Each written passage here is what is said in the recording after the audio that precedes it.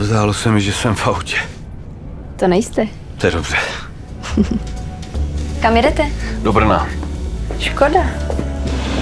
A kam jedete vy? Do Bratislavy. Škoda. Takže nakonec dvakrát Budapešť? Ano.